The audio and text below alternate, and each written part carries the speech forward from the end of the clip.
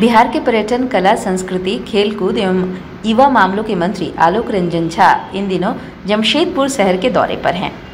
इस दौरे के दौरान मंत्री अपने परिजनों एवं समाज के बुद्धिजीवियों के संग मुलाकात भी कर रहे हैं। बताते चलें कि मंत्री का ये दौरा निजी है। हालाँकि मीडिया के सवालों पर वे खुद को रोक न सके। मंत्री ने बिहार के दो विधानसभा सीटों पर एनडीए की जीत का दावा भी किया और कहा, विपक्ष लाख जतन कर ले। बिहार की जनता किसी कीमत पर महागठबंधन को सत्ता पर काबिज होने नहीं देगी, क्योंकि उन्होंने पंद्रह साल के जंगल राज को देखा है।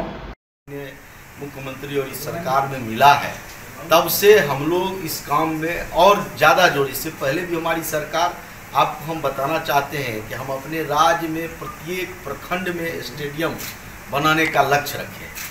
प्रत्येक प्रखंड में हमारा एक स्टेडियम होगा और लगभग साढ़े तीन सौ से ज़्यादा स्टेडियम हम स्वीकृत कर दिए हैं।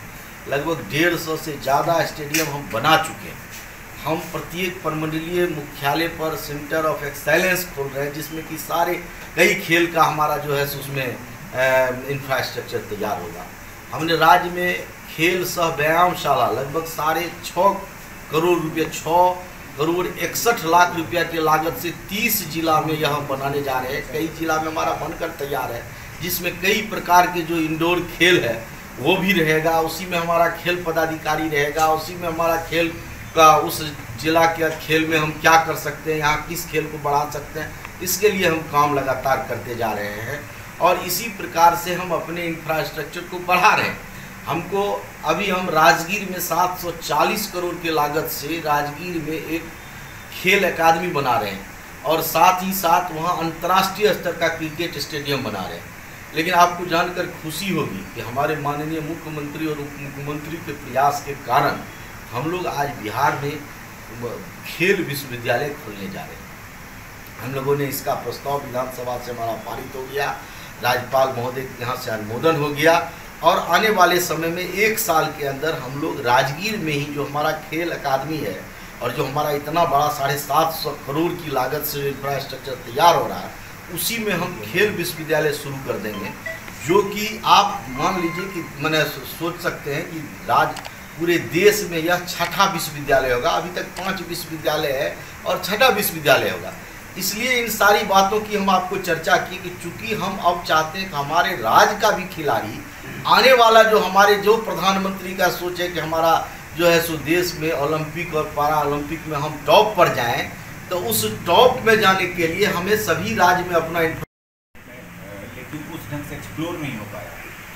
नहीं देखिए आपको हम बताना चाहते हैं कि जब से झारखंड अलग हुआ स्वाभाविक है बिहार और झारखंड जब एक साथ बिहार था तो हमारा ज़्यादातर इंफ्रास्ट्रक्चर खेल के क्षेत्र में झारखंड में होता था। और बिहार के अलग होने के कारण बिहार इंफ्रास्ट्रक्चर के मामले में थोड़ा कमज़ोर पड़ गया। लेकिन हमारे बिहार के यशस्वी मुख्यमंत्री उप मुख्यमंत्री के कारण आज जब से बिहार में एनडीए की सरकार चल रही है हम लोग खेल के क्षेत्र में बहुत सारा डेवलपमेंट करना शुरू करते हैं और आज जो स्थिति है देश की, उसमें हमारे यशस्वी माननीय प्रधानमंत्री नरेंद्र मोदी जी ने जिस प्रकार से खेल को बढ़ाने के लिए जो उन्होंने कार्य किया, जिस प्रकार से अपने खिलाड़ियों को प्रोत्साहन देने का कार्य किया, उससे स्वयं मिलकर, उनकी समस्या को समझकर, उनको